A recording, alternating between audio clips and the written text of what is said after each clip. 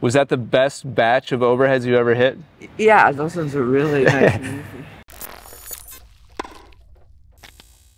I think you have the right idea with your overhead. There's one timing element that I think is going to help you be more consistent. Getting yourself to the side, dropping the racket, just like on a serve, uh, coming up overhead. You didn't position yourself great on this one, but it should be a little bit more to the left, and most of them you did. Most of them you do that. But you, you have you have like the right pieces there. Okay. The main thing that I, I'd like you to try that I think will help you feel more confident in it is I want you to watch the rhythm of your racket. Um, I'm going to play through four or five and just watch your racket. And I want you to watch how once the lob goes in the air, your racket never really stops moving. Moving. It, it kind of, you have a preference of just keeping it going through like the whole path. And you never really arrive at like a set like preparation position. The racket just kind of keeps moving the whole way through. Okay. You're Ah. filling all the time with constant movement, and there's never any like preparation moment or point. Okay. So again, watch my racket. It's the same feed, it's the same setup, and I want you to look at the difference in how I manage the time. How would you describe Sit, sit, sit, sit. Drop it and swing. sit? Is that what you're saying? Well, yeah, it's stable. It's it's it's in trophy for a long period of time, right? Yeah. Now, it's even though it's the exact same feed, Wow. and I'm actually closer to the ball than you. You know, I'm I got a couple inches of Right, like right. I'm closer to the oncoming ball, and yet somehow how how is it possible that it looks like I have so much more time? It's the same feed. It's the exact same setting on the the ball machine, but it looks like I'm just waiting. Whereas you're like filling the, the time, like the, the entire time is, is filled. So what's happening is once I read, notice I'm split stepping by the way, and I'm even doing like a correctly timed split step. So I'm, Okay. I'm kind of killing that time as well. But once I recognize it's an overhead, I'm going up directly to a trophy pose. Like I've identified it, I've prepared, and now no matter what happens between now and when I need to swing, I'm ready anytime. And so rather than than trying to like time out constant movement, I'm, I have a preparation phase and then a drop in swing phase. You already know you're in the right place. Do I already know what? You already know you're in the right place for the overhead. Position wise? Yeah. Oh no, that's why I'm going here because it might be that there's a gust of wind or I misread it and I got oh crap, I got to like get over here. Oh, and my whole point is if I'm in process of like doing this with my racket and I suddenly realize the ball's not where I thought it was, then I've got a whole lot of like stuff to do with my arm, kind of like your kind of like your backhand. Whereas me, I can take a, like a quick step over and then drop and swing because I'm already in a prepared to swing So position. basically, preparation is right into trophy. Yes. Yeah. We're gonna cut out all the other stuff, yeah, and just go right to preparation. Yeah, until you're ready to swing. Now, why is that uncomfortable? I don't know. I don't know either. Maybe because you've never done it before. Yeah, I guess so. Yeah. Let's practice a couple of times, just going from ready position to that setup position. Yeah, that's right, Susan. A few more of those.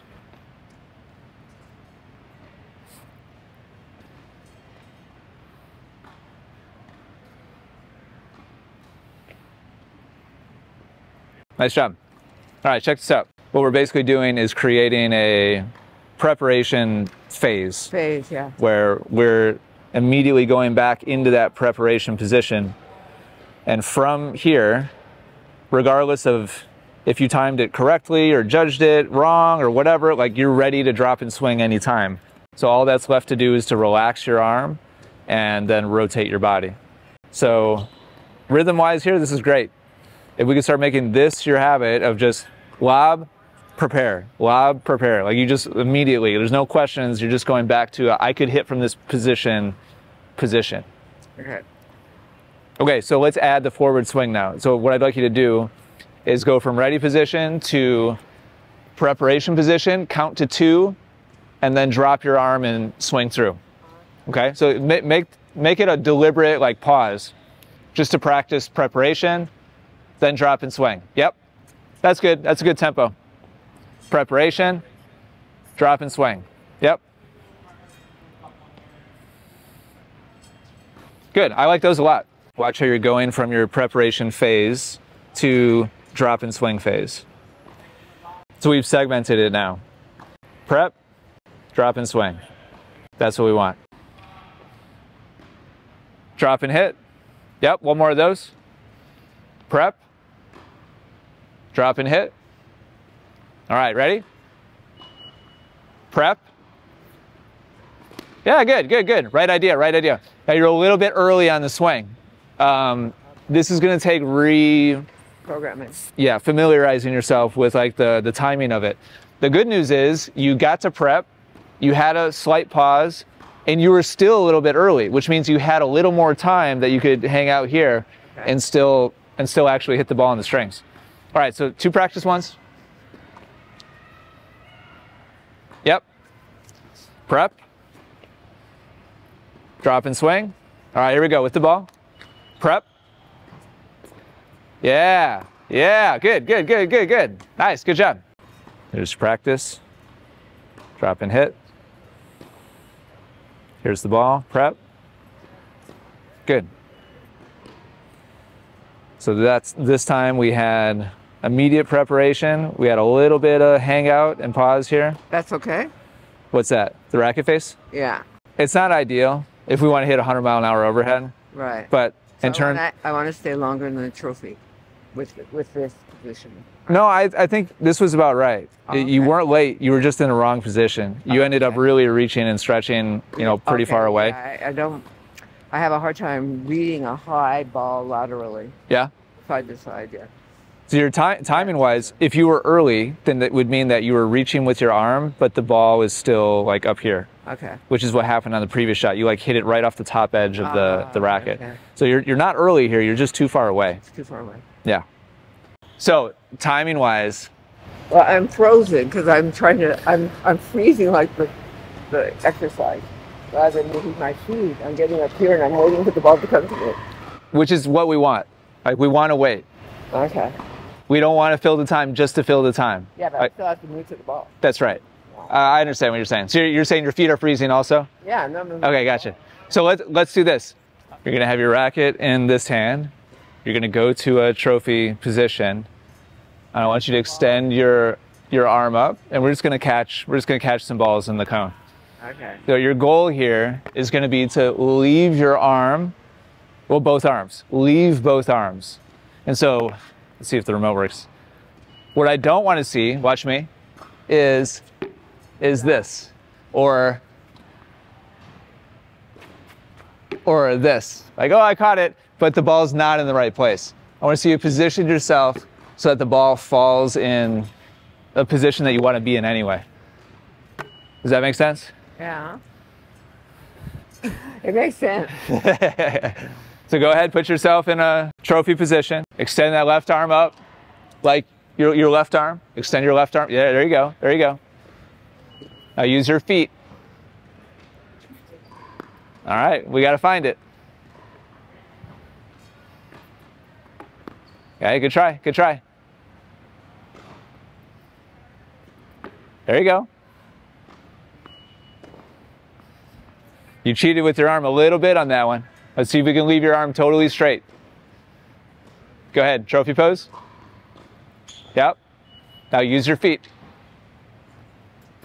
Good adjustment, good adjustment. Trophy pose.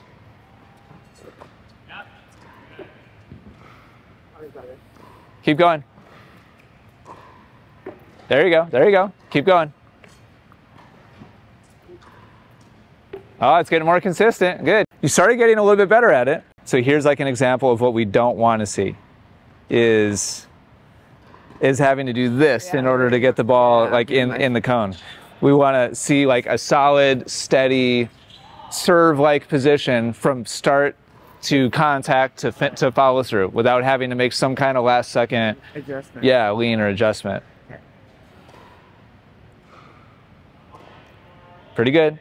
But now we also But I'm not rotated enough. Yeah, I think maybe part of this is just like visually. I don't. If there's just like some uh, difference in like your your depth perception in one eye or the other. Uh, sorry, my astigmatism, maybe. Yeah, could be. So it, it looks to me like you said, maybe you're just more comfortable tracking the ball like straight on, and when we get you to this sideways position, then you're just having a hard time tracking, you know, with the more with the left side than with the with the right side. So this is honestly just something we need to work on is developing your your judgment, your depth perception. Yeah, the more you did it, the more straight on you got. And we have to be able to do it from a sideways position if you want to hit a solid, Yeah. you know, a solid overhead. Let's do a couple more. Okay. And I want to see if you can, Go sideways one. yep, get to a solid trophy position.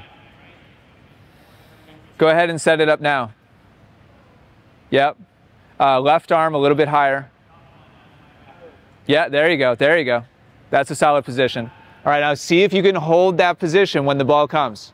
And don't break from that position. Yeah, good. That's your best one so far. Okay, come on back here and just watch. Just watch this. Go watch how solid you are here.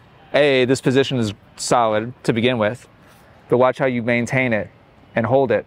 Because you didn't catch the ball, but you put it in the right spot. And this is, you know, in a nutshell, this is what we need to be able to do in order to hit a solid shot consistently. Good. Again.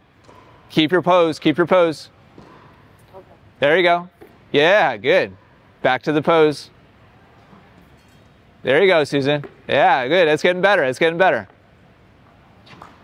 Solid pose. Yeah, there you go. That was way better. Like the, your consistency there was like bang on. Like you had like five or six in a row that landed exactly where we wanted the ball to land. And you weren't having to lean or stretch or like move like your arm around to catch it. You maintained a solid position almost the whole time. So the, these couple here were awesome. Like you got to a solid position in the first place, and then you maintained it all the way up until contact. Okay. This is phase one, and then phase two is when do I begin this? Swing. The, yeah, that's the next, and we have to marry those together. Okay.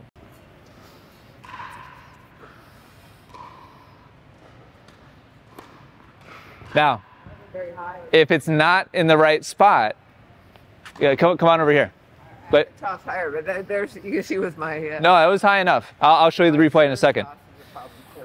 So here's the trophy pose. Now I'm going to put the ball where you put it, but I'm, I'm going to do something different. Yeah. So watch watch the, the difference here. Come here. Come on. Come on back here. So That's the part of me that gets. setup looks great. Now if it's a bad toss, fine. Kind of the whole point of this is we need to be active and dynamic Ah, okay. with with your feet. And so you put it in the wrong spot and you just stood there and just took it in the wrong position. And that's what we don't want to do on overheads. Like we want your whole structure to be in the the right spot. Okay. So for me, this was a bad toss. But then I made the adjustment to go yeah. to go get it in the right. And you're gonna have to do that all the time. Yeah. Like at the last second, like, oh crap, I gotta make it. That's fine. That's okay Okay. this is a good place to actually practice that. So solid trophy pose first. Yep. Toss and then right spot. Good. Yeah, good. Good adjustment. Good adjustment. Nice job.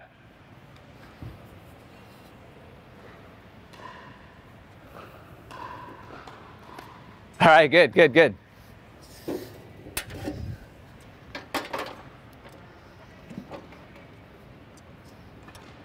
Yeah, good, good, good adjustment. Nice job. Good. That's right. You want to put the ball in just the right spot, using your feet. And you might even make bad tosses on purpose. Like Okay. Yeah. Just. maybe they'll all start being perfect if you try to make them bad. You- you never know. And then like toss them to the right, toss them to the left, toss them back, toss them forwards. Just make sure you get to a good trophy pose first. And then use your feet. Yeah, good. That was nice.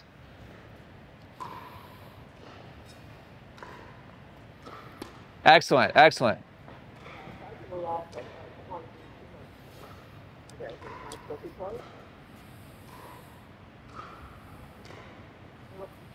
Okay, good. Good adjustment. Good adjustment. Let's do three. That one was an off buzzer, I'm not sure. Good.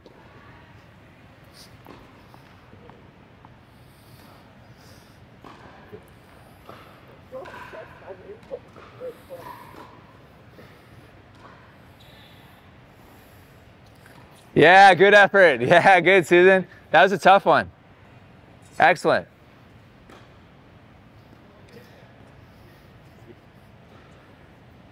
Yeah. Are you doing those on purpose? Yeah. All right, good, good.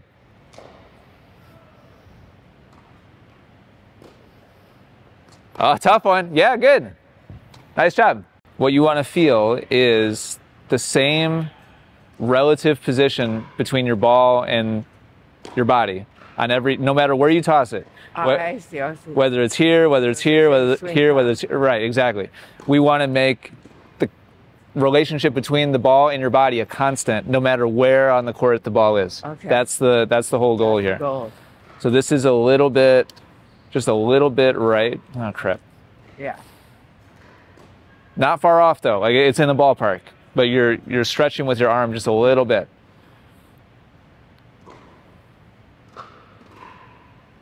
A lot of movement here to get to that spot. Really, really good. That's awesome. So that this is right about perfect. That's where we want contact to be. Just a little bit to the right of the body. Go ahead and set it. Yep. Here it comes. Okay. You let that fall a little bit too far. Here we go. There you go. There you go. That was a nice spot. Go ahead and set it.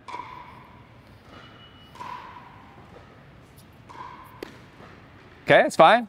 Distance from your body, I think, is really good. Okay. Now, interestingly, oh, you, you let it drop too. I was late. You let it drop a little bit too low. Okay, so that one's a little bit too low. Let's see if there's a pattern here. A little bit further away. It's also it's also low. It hit off the bottom of your racket again. Yeah. Let's see if that's the pattern. So that's pretty far away too. Also the bottom. So my swings are too late. On average, you're waiting too long. Yeah. Yeah. Interesting. I didn't I didn't see that. I thought maybe it was on the side of the racket. Yeah, these are all dropping all dropping too low. Okay. Okay, so let's go back to that spot. Yeah. I want you to again let it come in a little closer to your body and let's swing earlier before you think you have to. Okay, good, good, good, good. Work with that. Work with that. That's better, Susan. That looks great. Do that again. Okay, that's fine. Just a little bit early. Awesome, awesome, awesome. A Little bit too far away. Get closer. You waited too long.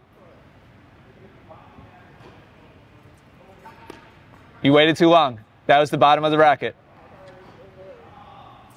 There you go. There you go. Excellent. Excellent. Excellent. Was that the best batch of overheads you ever hit? Yeah, those ones are really nice. I think you need like a million repetitions of just hanging out in an easy spot with an easy feed and just feeling like good contact again and again and again. And you, It's you have to build swinging some. much earlier than I would even think. Yeah? So, is there Yeah, look at. anything that is a reference? I like references. Unfortunately, only if you always get the same feed. Uh, if the if the ball coming in is always the same height, always the same speed, always the same spin, Right, right, then we could say like, oh, you just count one, two, and then you swing. right, right, right. But in real life, not. all those variables are different, and so you have to learn in real time how to make a, a good judgment call. Right. But first, I think you just need to feel and grab onto what is the appropriate spot where I even want to hit the ball. This looks fantastic. So even if it's the same feed a thousand times and you just groove it, I think that's very valuable repetition for you right now. So at least you can feel the difference of like, this is what I want, this is what I want, this is what I want.